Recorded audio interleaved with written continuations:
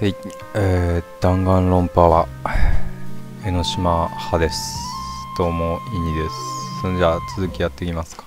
弾丸論破もまあ持ってるんで、まあ機会があれば、てか多分これ終わったらやると思います。うん。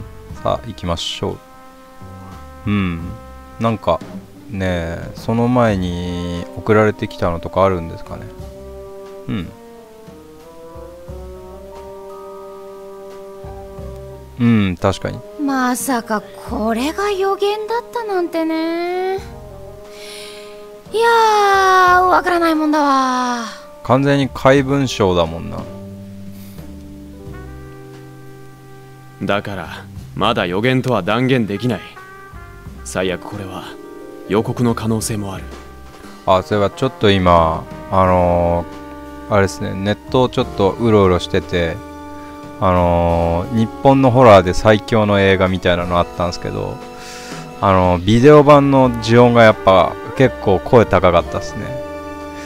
映画版の呪音、まあ個人的になんですけど、映画版なんかよりはるかに、まあ大学の時に友達がこれマジでやばいからっつって見たんですけど、あれはもう、ジャパホラの中でも俺、ちょっと今、だって、これ喋ってて鳥肌立ってきたレベル。うん。おっかないですね。まあいいや。うんリングとかね、まあいろいろ着信ありとかね。なんか、あの時期は結構いろいろやってた気がする。あんな大規模な爆発を？どうやって？だからそれをこれから調べるんですようん。木戸脇。さて、何か出てくるんでしょうか。うん。まずこれ見てみて。なんだかわかんないけど書いている内容は殺人事件を匂わせる感じよね。隙味悪いからそのままボツにしたけど。殺人事件？いつのですか？えーと化身はこれか。うん。殺人事件投函から3日後に市内で起きてますね。状況も少し似てるかなはあ。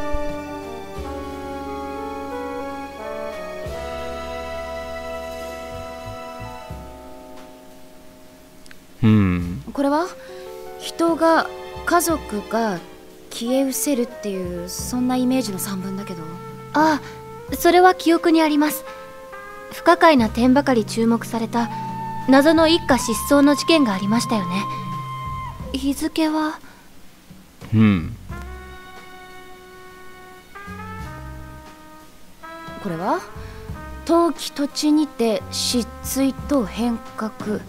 新たな頭角。だって。具体性はさっきの2つより全然ないけど。うん。日付は？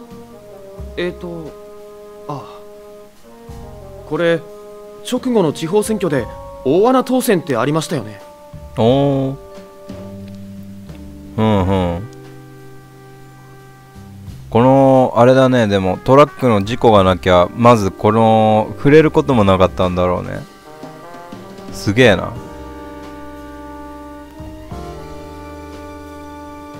うん。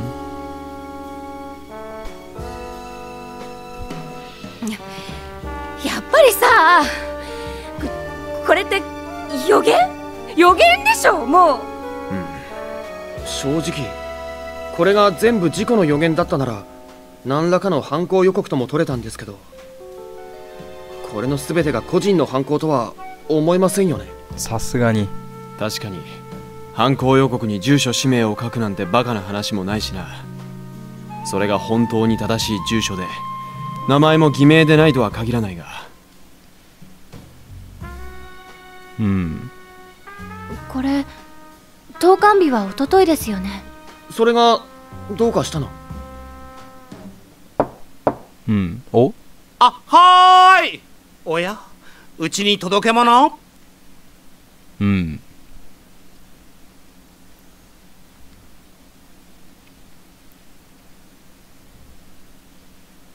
そう二つだ。昨日出したばかりのかお？うはなんで速達なの？それだけ緊急性のある予言なのかな？マジか。緊急ならメールでもいいだろう。うちの番組だってサイトもあるし番組宛てのメアドだって公開してる。わざわざ郵便？うん。な、なになになに？ははは、早く見せてよ。子供じゃないんだから。えっとなんだろうこれ一面抹茶色に塗りつぶしてあるだけじゃない？何の絵だろ抹茶色？茶色か。ウーロン茶、ウイスキー、いや、ガトーショコラ。地震地震ああ地震じゃないか。う絶対何一つ当たってないから黙ってて。詩の方は？なんだろうこれ。うん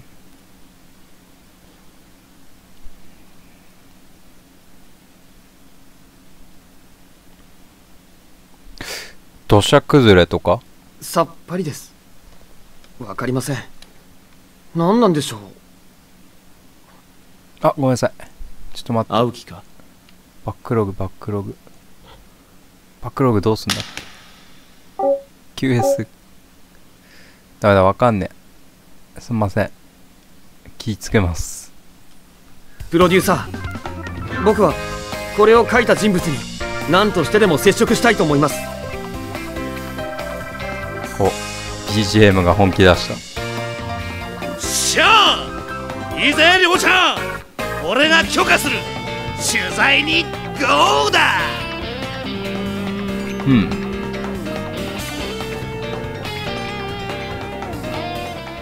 いいぜ。うん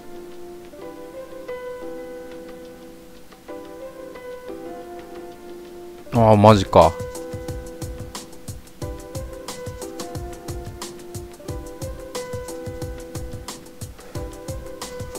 どんな人が出てくんだ？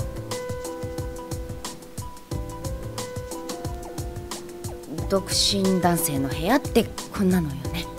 俺の部屋に似てんなマジで。右の棚が全部漫画だったら完全に俺俺の部屋だねうん。あとあのパソコンがあってゲームと、ま、あの漫画じゃないあのうんなんかそうそういうの。うん。僕のは違います。俺も違う。よかった。おお楓ちゃん。あのおお茶いやあの湯飲み4つも用意できまできませんですんですおおすげえこいつ。ていうかパソコンあったら完全に俺の部屋だったわ。こう指導かやっぱり。うん。いえお構いなく。今日はお話を伺いに来ただけですので。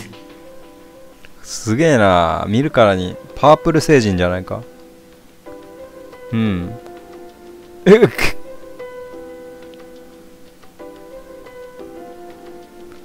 とりあえず早く話が聞きたいね。木戸脇さん今日はお勤めの方は？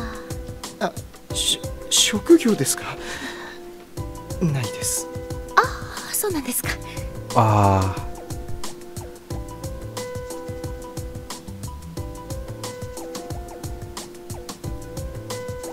うん。30代か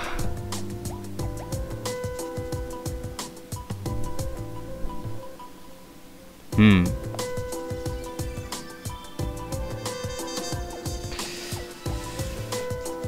部屋掃除すっか。こ ここまでじゃないと思うけどね。でもね俺ゴミとかはちゃんとまあ片すんですけどね。あの物が多すぎてマジで。漫画とか。まあね、まあ、フィギュアとかね、うん、ゲームとかちょっと片すか。あんま使わんもんは。おおお花。しえっといや申し訳ありません。こちらもちゃんとアポイントメントを取らず突然お伺いして。ご住所とお名前は分かっても電話番号が。は？アポアポインメント？ああいええーその。うん。なんだっけこれ？原始圏にいなかったっけ？こんな。喋り方はなんか久我山久我山の方がでもあれだな。うん。どっちかっつうとクッチうん。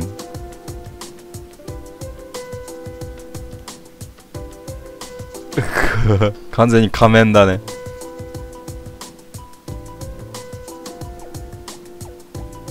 うん。うん。とにかく木戸脇さんのあの予言についてですけど詳しくお話を聞かせていただけませんでしょうか？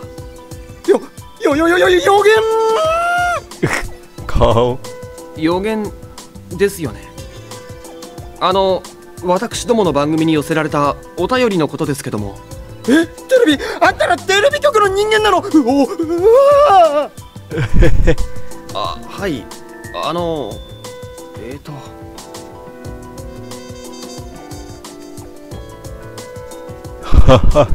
しゃー！やった！通じたついに僕がマスコミを動かした！えーとまあそれは確かかもしれませんけどあのお話を。僕の名前は木戸脇シド偉大なる大預言者様なのである！カメラカメラこっち！チクッ！チーだわマジで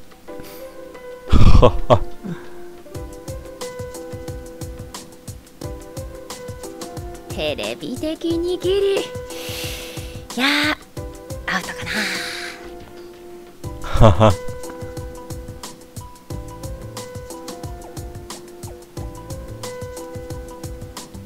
なんとかセーフにしましょう。ええーとですね木戸脇さん。僕たちが今日お伺いしたいのは。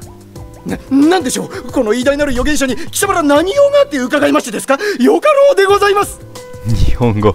あのよろしければ普通に喋っていただけないでしょうか？普通？うんうん。そそうね。いや僕ねうそうこれで普通だから。そそうですか？そのですね木戸脇さんの予言についてですが。ビジョン！見える見えるんだ見えるんですビジョン！はいあの。あのじゃない。聞いてるか？聞いているのか？お前はいいか？こらこう。ビジョンがダーッと！ええーとすげえな。もっと普通に話せればスムーズにいくのに。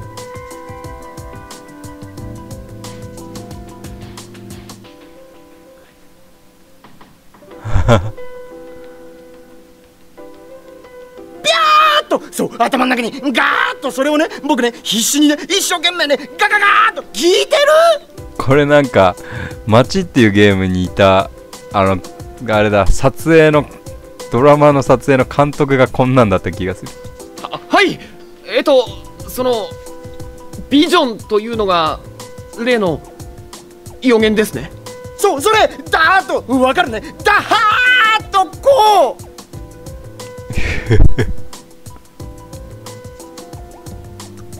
う。うん。あ私が言うんですか？えっと木戸脇さんは時折ビビビッととあるビジョンが頭の中に浮かんでくるのだそうです。うん。そのビジョンの強烈な印象を何かに突き動かされたように必死に描き留めたものが一連の不思議なイラストでした。もちろん木戸脇さん自身も当初はそれが何であるかには気がつきませんでした。うん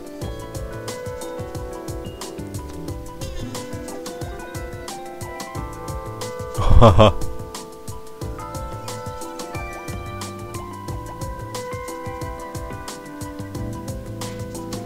あらら。ですがある時ふっと湧いてくるそれらのイメージと後日発生する事件事故の様子があまりにも似ていることに気づきました。うん。ちなみに例の詩のフレーズもそのビジョンと同時に頭の中に浮かんでくるものだそうです。これがすなわち木戸脇さんの予言なのです。なるほど。です。かわいいねお嬢ちゃん。犯罪集。あはい。ありがとうございます。冷静にする。つまりある時期から木戸脇さんはご自分でもそれを予言だと自覚していたわけですね。でしたら一つお聞きしたいのがうん？うん？うん？どうしてこんなテレビ局に投書なんていう回りくどいことをしたのでしょう。ネットでもどこでも発表の当てはあると思いますが。にちゃんとかかな？うん。ツイッターとか。でもツイッターってさ確かなんかめったなこと書くと警察来るんだよね本当にね。桑原ですよ。もうね殺害予告とかなんかした日にはもう冗談でしたじゃ済まないみたいだからね。うん。まあその殺害予告してる時点でも気狂ってんだけどね。うん。そんなの信用するやついないでしょ。ははあ。しかしですね。予言ですから明日何時何分に何々が起こると書き込んで翌日本当に起きれば少しは誰か信用も。あ確かに。捏造自作オツ。そんな風にね連中からバカにされるだけ見た事実すら信用しねえし見てないものは全部嘘って言い張られて。まあね。もう書き込んだんかな。立派ですか。だからネットのやつらは。どいつもこいつも。ああもう知らねえ。二度と相手にしねああ。え大体ね予言とかねいきなりそんなこと言い出しても頭のネジが飛んだって思われるだけでしょ？ね？ね？ははあ。た確かに。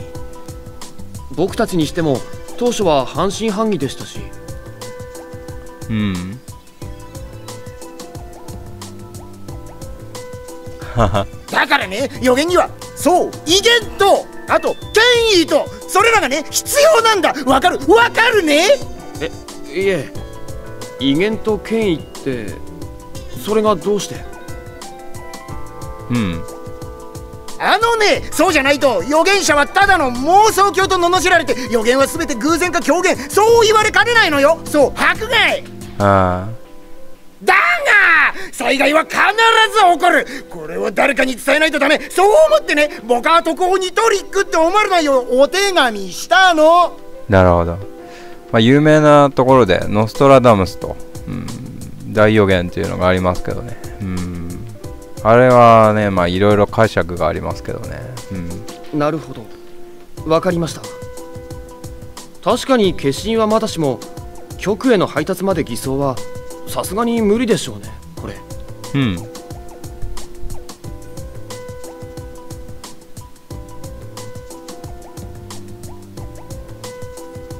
確かし。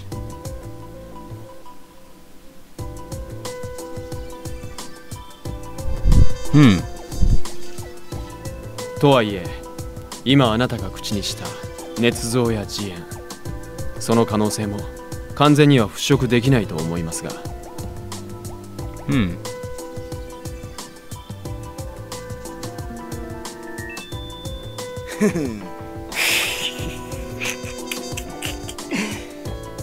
つまりあれかね？君が言いたいのはこの僕によるテロ予告の可能性かね？まあそうだな。うん。そこ一番重要なとこですからね。そう言われることはね僕だって自覚してるよ。なんたってこうも連続で当てたんじゃね？えだからこそ証明するための証拠を持ってんだ！お。証拠と言いますと？証拠！これドーンなんじゃこれ。スマホ？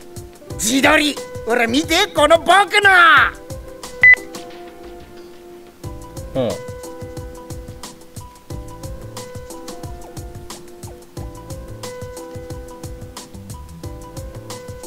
何？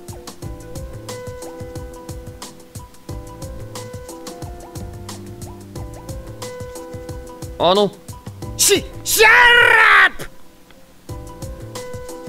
うん。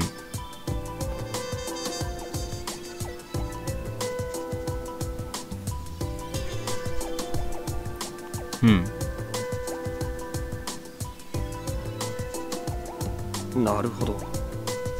事故の発生時にはこうして家の中で手も足も出せなかったと。おおなるほど。そういうことかそうそうそうそうそうそうそう分かってるねとにかくね僕はこれこの通り何も直接関与はしてないからマジにこれ自分で縛って自分でほどいたんですねえあうんほどけるような縛り方って何か意味あったんですかほどけなかったら困るじゃないのおしっことかどうすんのそもそも縛る必要はあったんでしょうか事故発生時にこの部屋にいたという証拠であればよかったのでは？あ？いやあのうん。つまりその いやそこはいいんじゃないでしょうか。うん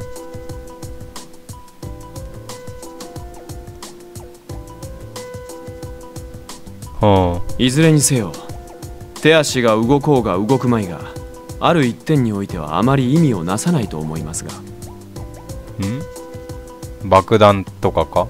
え？ななんの？次元装置です。遠隔装置の可能性だって否定しきれません。うん。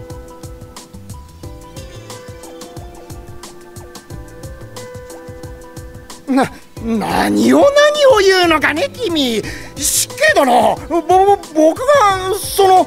そこで一つ確かめさせてください今日あなたから届いた新しい予言。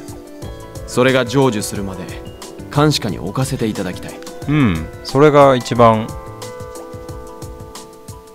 うん。あのこの予言一体何を示したものか分かりませんか？そんなもん僕が知るわけはないだろう。怒ってみなければわからないんだ。頭にだからビジョンみたいなのがこうパッて見えてもうそれを書くみたいな。うん。漫画家のとこに来たら最強やねじゃあ。うん。漫画家っつうか画家？あのどうして今回に限って速達で出したんでしょう？いやあのうんほらちょっと今回ねそのお金余ってたから奮発してそのパチンコでああパチンコも予言で？いやそれは。ヌーベでやってたけどね。パチンコ予言で。でヌーベはねあれ金に困った時しかやんないからっていうね。うん。そんないつもやってるわけじゃないみたいな、うん、これ飛騨山中じゃないの？山の稜線かな。それが飛騨の山々にそっくりだと思うけど。ほ飛騨山中？うひだごも。ん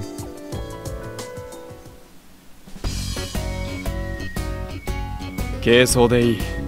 というより別に山に登るわけじゃない。そそうですよね。行くことになったのか。いやいやいや。ほらちゃんとシュラフを積んでピッケルも持ってあと簡易テントに防寒具コンロとカートリッジ ナイフにザイル。ザイルってなんだ？だだからですね。別に僕たちはヒダゴンを捕獲しに行くわけじゃないんですから。あはは待った待った。いいよいいよいい報告待ってるよ。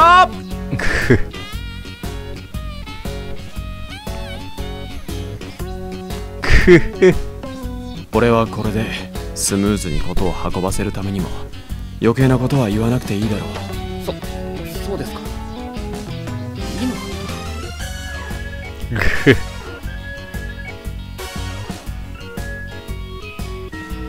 どうせヒダゴーンなんてものは発見すらできるわけがない。うん。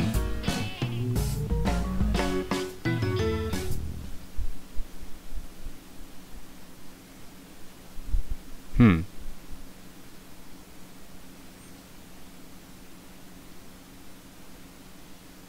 なるほどなるほど。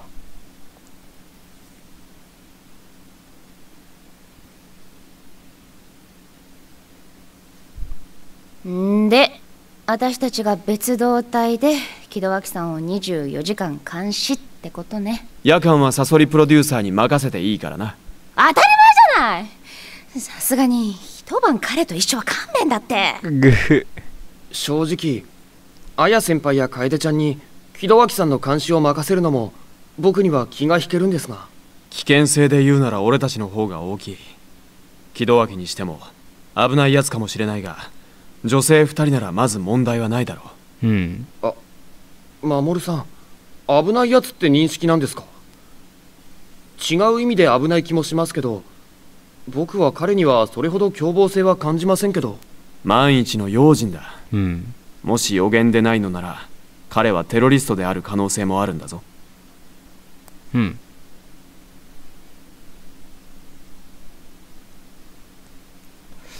ね男と一緒ぐらいの。じゃ頼むよ。いいお土産待ってるからね。さて時間がいい感じなんでここで一旦切りたいと思います